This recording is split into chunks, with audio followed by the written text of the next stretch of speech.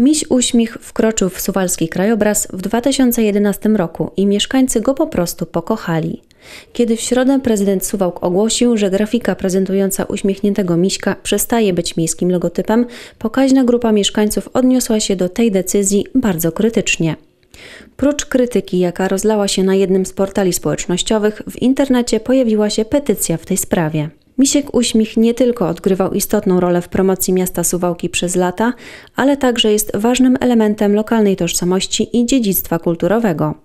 Jego usunięcie na rzecz nowej, niewiadomej koncepcji graficznej jest nie tylko nieuzasadnione, ale także nieodpowiednie w kontekście historii i tradycji naszego miasta, argumentuje autor wystąpienia, zatajając, że jest członkiem jednego z komitetów wyborczych. Nowe logo podobne do niczego. Miś jest bardzo dobrym logiem miasta i wszyscy w całej Polsce kojarzą go z suwałkami.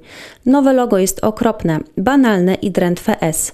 Takie komentarze pojawiły się pod wspomnianą petycją. Jeden z sygnatariuszy wskazuje, konsultacje społeczne jako najważniejszy punkt funkcjonowania miasta, szczególnie w tak istotnych kwestiach. Logo miasta to znak nas wszystkich. Ratusz informując o zmianie decyzji w sprawie Misia podnosi, że nowa strategia promocji miasta zawierająca informacje o przyszłym liftingu logotypu była poddana społecznym konsultacjom.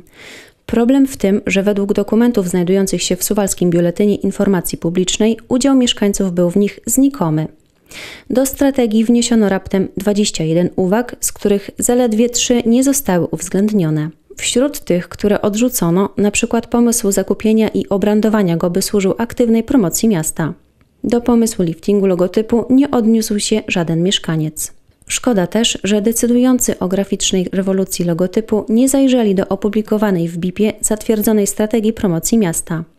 Na 26 i 27 stronie barwnego dokumentu, jak na dłoni widać, jaki stosunek do misia uśmicha mają mieszkańcy.